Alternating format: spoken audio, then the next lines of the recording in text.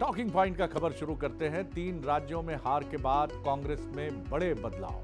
कुमारी शैलजा को छत्तीसगढ़ प्रभारी पद से हटाया गया है और इसी तरह, अगर हम बात करें तो मध्य प्रदेश से सुरजेवाला साहब को हटाया गया है। सचिन पायलट होंगे छत्तीसगढ़ कांग्रेस के प्रभारी और भंवर जितेंद्र सिंह होंगे मध्य प्रदेश कांग्रेस के प्रभारी।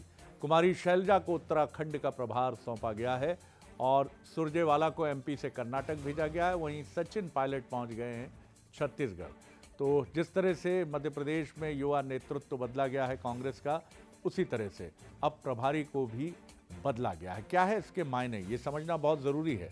तो बदलाव के मायने ये हैं कि हार के बाद कुमारी शैलजा की हुई थी कई शिकायतें।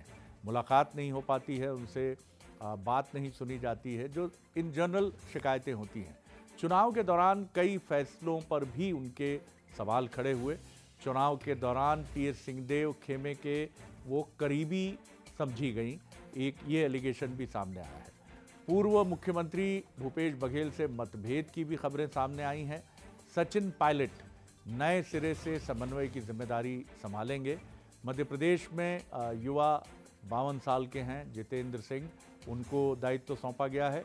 प्रभारी ये बनकर आए हैं और युवा प्रदेश अध्यक्ष जीतू पटवारी और नेता प्रतिपक्ष उमंग सिंगार के साथ बेहतरीन तालमेल के साथ काम करेंगे, ऐसी संभावना कांग्रेस के हलकों में जताई जा रही है। तो परिवर्तन, कांग्रेस की अगर बात करें तो वो तेज़ी से परिवर्तन की राह पर आगे बढ़ रही बढ़ेंगे अगली खबर की तरफ़।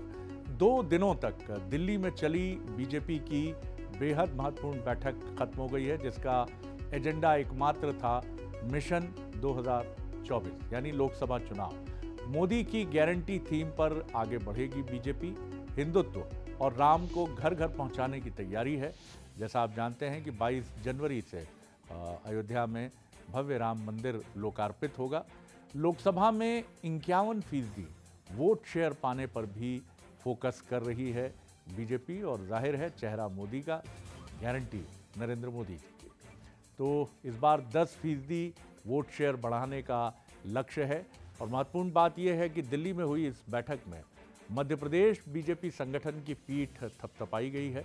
तो प्रदेश बीजेपी के अध्यक्ष विष्णुदत्त शर्मा जी के लिए और पूरी टीम जो संगठन की है और कार्यकर्ताओं के लिए ये बड़ी सराहना की बात है कि उनके काम की, क्योंकि मध्य प्रदेश में थम्पिंग मेजॉरिटी से बीजेपी की सरकार बनी है। तो ये काफ़ी महत्वपूर्ण बात है। चलिए, बढ़ेंगे अगली खबर की तरफ़। प्रधानमंत्री नरेंद्र मोदी की अगुवाई में बीजेपी का मिशन फाइनल हो गया है। दिल्ली में, जैसा हम आपको बता रहे हैं, दो दिवसीय बैठक के बाद 24 का एजेंडा सेट हो गया है। 160 सीटें देश में ऐसी हैं, जहाँ पहले प्रत्याशी घोषित करने की रणनीति के साथ बीजेपी आगे बढ़ेगी। इसका कारण ये है कि बीजेपी मानती है कि आप पहले कैंडिडेट दे दीजिए तो वो अपनी तैयारी अच्छे से करता है, अपने लोकसभा क्षेत्र को बेहतर तरीके से समझता है। और आपको याद होगा कि मध्य प्रदेश में विधानसभा चुनाव में उम्मीद थी कि कांग्रेस के प्रत्याशी पहले सामने आएँगे, लेकिन बीजेपी ने पहले प्रत्याशी घोषित किए। पीएम मोदी ने बैठक में समझाया चुनावी रोड मैप उन्होंने बताया कैसे हम आगे बढ़ेंगे। और अयोध्या में रामलला की प्राण प्रतिष्ठा के बाद मिशन 24 पर, मिशन 24 पर पूरी ताकत से जुटेगी भारतीय जनता पार्टी और इसको लेकर आगे बढ़ेगी। और राज्यों में भी 22 जनवरी के बाद तमाम ज़रूरी बदलाव भी किए जाएँगे और एक साफ़ एजेंडा भी सेट किया जाएगा और कार्य विभाजन जो संगठन में है उसकी भी एक बहुत साफ़ तस्वीर आ, सामने आएगी। तो क्यों कैसे है ये एजेंडा सेट आपको समझाते हैं। राज्यों की जीत का फार्मूला भी आगे बढ़ाएगी बीजेपी। तो ये एक अहम बात है युवाओं और नए चेहरों को मौका मिलने का इससे रास्ता खुलेगा। और तीसरी महत्वपूर्ण बात यह है कि मोदी की गारंटी के दम पर 400 सीटें पार करने का लक्ष्य लेकर बीजेपी उतरेगी। 2019 में 303 सीटों के आंकड़ों को छूकर आगे बढ़ी थी बीजेपी। कमज़ोर 160 सीटों पर पहले ही प्रत्याशी घोषित करने की तैयारी है। तीन राज्यों में हारी हुई सीटों पर प्रत्याशी घोषित करने का दांव बीजेपी का सफल रहा है। तो बीजेपी मानती है कि ये एक अच्छी स्ट्रैटी है। और हमें इसे लेकर आगे बढ़ना है। अगली खबर जो आप और मध्य प्रदेश के लोग बहुत महत्वपूर्ण तरीके से जानना चाहते हैं, मंत्रिमंडल को लेकर दिल्ली में रविवार को फिर मंथन और चिंतन की प्रक्रिया हो जाएगी। मुख्यमंत्री मोहन यादव फिर दिल्ली पहुँचे हैं। बीजेपी प्रदेश अध्यक्ष वी डी शर्मा जी पहले से ही दिल्ली में हैं। संगठन महामंत्री हेतानंद शर्मा भी दिल्ली में मौजूद हैं। वरिष्ठ नेताओं के साथ मंत्रिमंडल को लेकर मंथन चिंतन का दौर। रविवार को भी होगा और कौन जानता है रविवार या सोमवार शाम? वो दिन हो सकते हैं कि जब आपके सामने मध्य प्रदेश के कैबिनेट की तस्वीर होगी।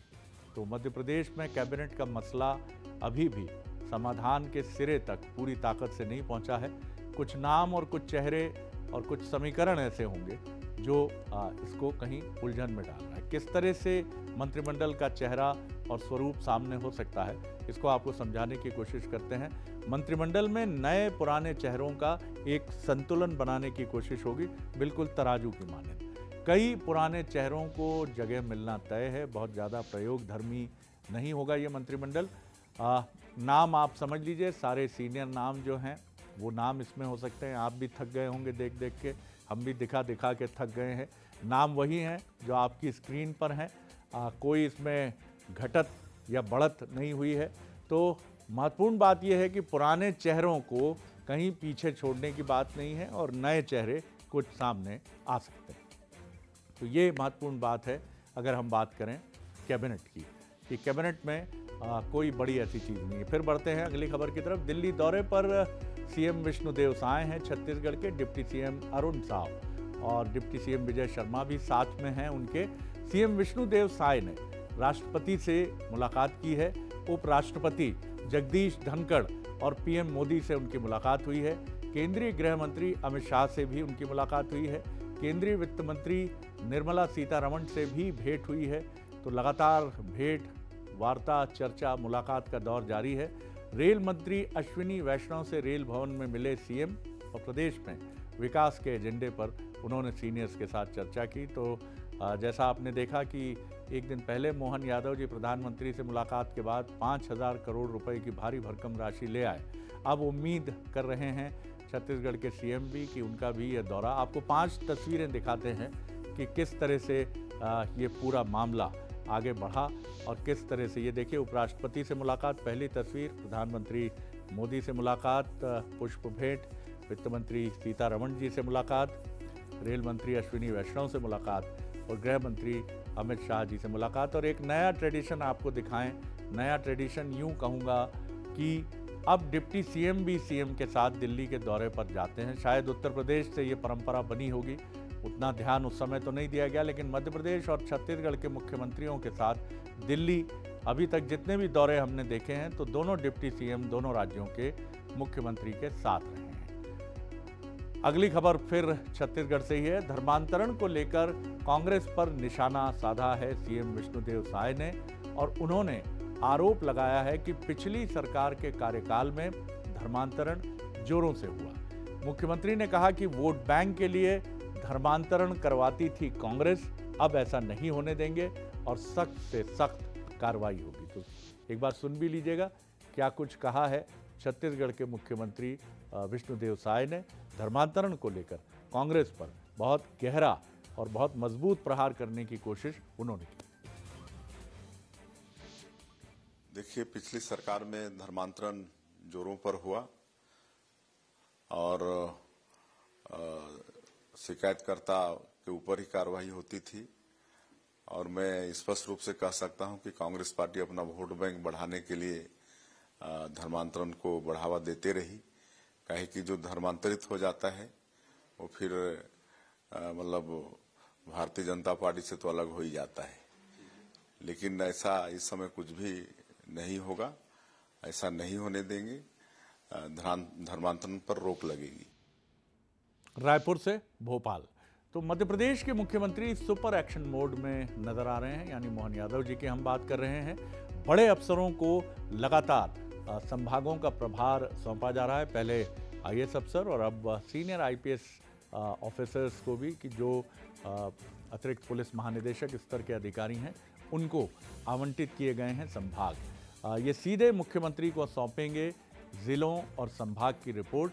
हर अधिकारी को एक एक संभाग का प्रभार सौंपा गया है। आपको याद होगा कि इससे पहले आईएएस अधिकारी जो थे एडिशनल चीफ सेक्रेटरी रैंक के। और अब एडीजी लेवल के अधिकारियों को पुलिस अधिकारियों को अखिल भारतीय पुलिस सेवा के उनको ये दायित्व सौंपा गया। आपको बता दें कि किस आईपीएस को कौन सा संभाग सौंपा गया है तो एक नज़र आप अपनी स्क्रीन पे डाल लीजिए। ईडीजी विजय कटारिया साहब भोपाल संभाग को देखेंगे। आ, आलोक रंजन जी नर्मदापुरम देखेंगे।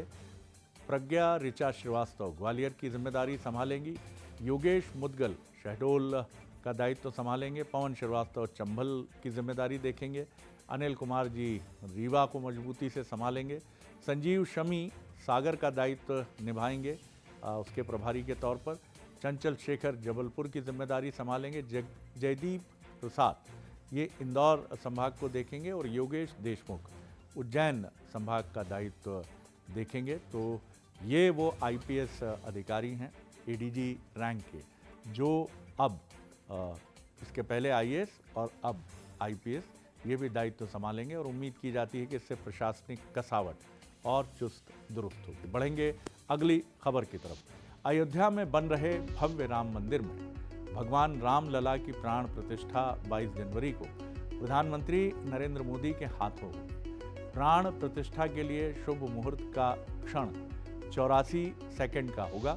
बारह बजकर उनतीस मिनट आठ सेकंड में ये प्रक्रिया पूरी आगे बढ़ेगी और बारह बजकर तीस मिनट बत्तीस सेकंड तक का ये पूरा समय आगे बढ़ेगा।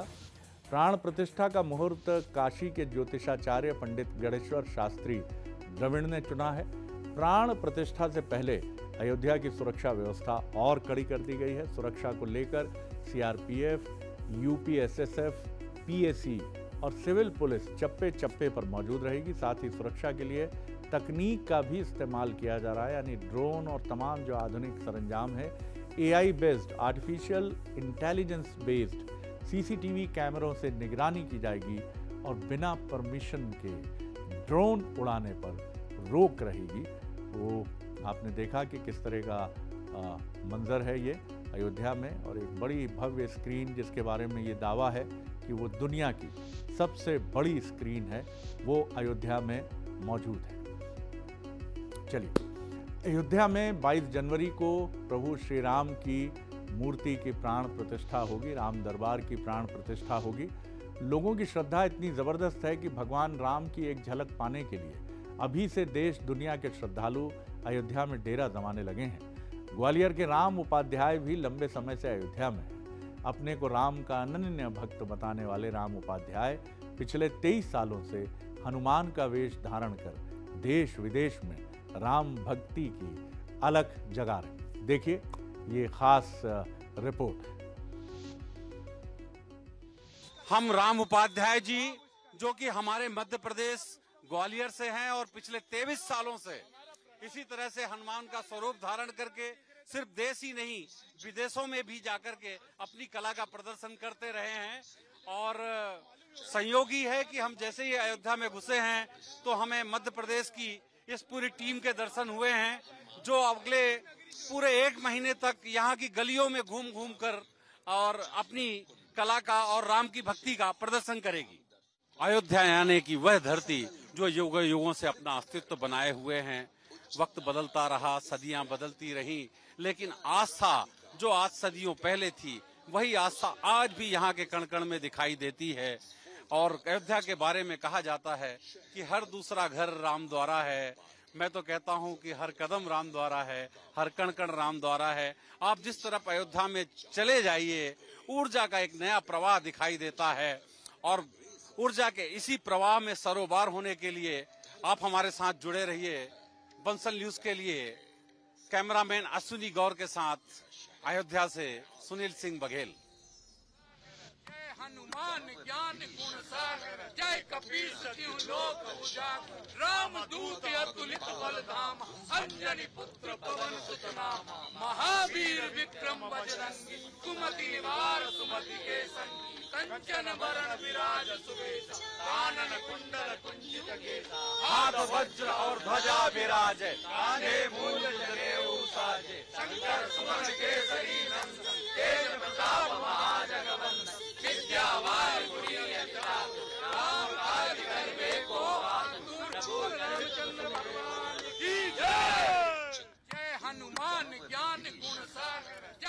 चलिए देखिए आप इसमें सबसे महत्वपूर्ण बात है कि ये जो मेकअप इन्होंने लिया है आजकल बॉलीवुड में और हॉलीवुड में प्रोस्थेटिक मेकअप कहा जाता है जिसमें नाक नक्श भी बदल जाती है। लेकिन राम उपाध्याय जी कैसे करके इसमें आपका खाना आपका बोलना ये सब प्रतिबंधित हो जाता है तो ये बड़ी महत्वपूर्ण बात है कि राम के प्रति उनकी यही आस्था है, नाम भी उनका राम उपाध्याय है। बढ़ते हैं अगली खबर की तरफ़, और ये खबर अयोध्या के राम मंदिरों से नहीं, बल्कि रायपुर के राम मंदिर से। आपने भगवान राम के कई भक्त तो देखे होंगे, लेकिन एक वानर, कई बार हमने ऐसे मंदिर देखे हैं, प्रभु श्री राम के और हनुमान जी के, जहाँ वानर आ जाते हैं। बड़ा संयोग रहा कि बंसल न्यूज़ की टीम रायपुर के इस राम मंदिर में थी और वहाँ पर एक लंगूर, एक वानर शाम को आरती के दौरान अचानक पहुँच गया। और ऐसा मिलन वहाँ हुआ भक्तों के साथ कि मानो बरसों से आने का क्रम है। कभी हारमोनियम पर बैठे, कभी ढोलकिया बजाने लगे और कई बार तो ऐसा लगा कि जैसे माइक्रोफोन पर आकर कोई भजन गाने का भी उनका इरादा है। ये तस्वीरें आप देख रहे होंगे। ये देखिए, बैठ के उन्होंने जो ये जो माइक्रोफोन का सिरा है, उसको दूसरी तरफ़ कर दिया, फिर इन्होंने टोपी का भी आग्रह किया कि ये टोपी मुझे चाहिए, मुझे दे दीजिए, और कहा भी है तुलसी बाबा ने कि बालक बानर एक समाना। बालक की प्रवृत्ति और वानर की प्रवृत्ति यानी चंचल होती है। और ये देखिए किस तरह से प्रभु श्री राम के चरणों में और ये हनुमान जी के साथ की एक बड़ी अद्भुत तो ये बड़ा संयोग रहा कि बंसल न्यूज़ की टीम को वहाँ इस मंज़र को अपने कैमरे में कैद कर आप तक पहुँचाने का मौका मिल गया। देखिए, आप इनकी भाव भंगिमाएँ, आप भी आश्चर्यचकित हो जाएँगे। एक दो बार तो हमें लगा कि ये बंसल न्यूज़ के माइक आईडी पर आकर बाइट भी देना चाह रहे हैं कि मैं अपनी भक्ति की बात कह रहा हूँ, सुन लो। और यहाँ भी आप इनका मनोहारी अंदाज देख सकते हैं। कोई डर नहीं रहा जबकि एक वानर बीच में प्रकट हो जाता है। इन भक्तों की भी धैर्य, संयम और प्रेम की हम दाद देंगे। कि कोई अपनी जगह से हिला नहीं, जबकि एक बहुत छोटा बच्चा भी वहाँ बैठा था, लेकिन उसके चेहरे पर भी भय का कोई नामो निशान नहीं था। और सब भक्तिभाव से, हाथ जोड़े हुए श्रद्धा से इस दृश्य को देखते रहे। तो बड़ा ही अद्भुत ये नज़ारा रहा। अब आगे बढ़ेंगे और राम मंदिर और कपिराज से सीधे क्रिकेट के मैदान की तरफ़। भारत और दक्षिण अफ्रीका के बीच दो टेस्ट मैचों की सीरीज़ का पहला टेस्ट मैच 26 दिसंबर से शुरू हो रहा है। साल उन्नीस में टीम इंडिया ने पहली बार साउथ अफ्रीका की ज़मीन पर पहला टेस्ट मैच खेला था। सीरीज़ एक शून्य से अफ्रीकी टीम के नाम रही और अब तक टीम इंडिया आठ बार साउथ अफ्रीका का दौरा कर चुकी है, लेकिन एक भी बार साउथ अफ्रीका में टेस्ट सीरीज़ फतेह करने का मौका नहीं मिला है। ऐसे में इस बार हिटमैन रोहित शर्मा की कैप्टनसी में इस रिकॉर्ड को टीम इंडिया ज़रूर बेहतर करना चाहेगी और पुरानी नाकामी को पीछे छोड़ना चाहेगी। कैप्टन रोहित के पास इस सीरीज़ को जीतने की बड़ी ज़िम्मेदारी है। सीरीज़ से पहले कई प्लेयर्स बाहर हो गए हैं। ये टीम के लिए एक बड़ी चुनौती और झटका भी है। इसमें चोटिल होने की वजह से टीम से बाहर हुए सूर्य कुमार यादव, मोहम्मद शमी और टेस्ट टीम से ओपनर ऋतुराज गायकवाड़ का नाम शामिल है। वहीं विकेट कीपर बल्लेबाज ईशान किशन ने भी पर्सनल रीजन से अपना नाम वापस ले लिया है। साथ ही विराट कोहली को भी फैमिली इमरजेंसी के चलते भारत लौटना पड़ा। हालाँकि वो जल्द ही वापस आएँगे और टेस्ट खेलेंगे। तो क्या भारतीय टीम इस रिकॉर्ड को कुछ बदल पाएगी? ये बात देखने लायक होगी। और अब क्रिकेट के मैदान से फ़िल्म के मैदान तरफ़। अब फ़िल्म जगत की ये खबर कह रही है कि प्रभास स्टारर सालार थिएटर्स में रिलीज़ होते ही बॉक्स ऑफ़िस पर छा गई है। फ़िल्म ने रिलीज़ के पहले दिन ही कई रिकॉर्ड तोड़ दिए हैं। ओपनिंग डे पर फ़िल्म ने दुनिया भर में करीब 180 करोड़ का कलेक्शन किया। इस रिकॉर्ड के साथ ही ये 2023 की अब तक की सबसे बड़ी ओपनिंग करने वाली फ़िल्म बन गई है। बड़ी बात यह है कि इस फ़िल्म का जो कलेक्शन बॉक्स है, वो ऑफ़िस में बॉलीवुड के किंग खान कहे जाने वाले शाहरुख खान की फ़िल्म इसका जो टक्कर हुई, आप इसको कहें, वो टक्कर हुई है डंकी, जिसमें किंग खान खान है, शाहरुख खान। लेकिन वो फ़िल्म उतना बेहतर नहीं कर पाई है। लेकिन सालार की अगर हम बात करें तो इस फ़िल्म ने कमाल किया है। और एडवांस बुकिंग में भी प्रभास की इस फ़िल्म ने एस की डंकिंग के ओपनिंग रिकॉर्ड को बहुत पीछे छोड़ा है। यहाँ तक कि भारत के साथ साथ ओवरसीज एडवांस बुकिंग में भी सालार का दबदबा देखने को मिला। फ़िल्म यूएसए में इस साल सबसे ज़्यादा एडवांस बुकिंग करने वाली भारतीय फ़िल्म बन गई है। सालार ने रिलीज़ के साथ ही वर्ल्ड वाइड पहले दिन 160 से 170 करोड़ का कलेक्शन किया। इसके हिंदी वर्जन की बात की जाए तो इसने अब तक 15 से 16 करोड़ का कलेक्शन किया है। अब फ़िल्म एक्सपर्ट का मानना है कि ये फ़िल्म सारे रिकॉर्ड तोड़कर बॉलीवुड की या भारतीय सिनेमा जगत की एक अलग फ़िल्म बन सकती है। शुभकामनाएँ प्रभास को और सालार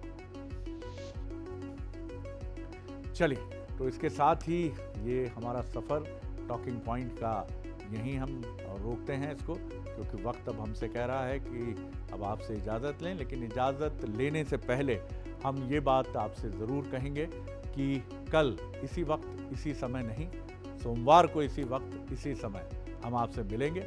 और गुड नाइट, शब बखैर, थैंक यू।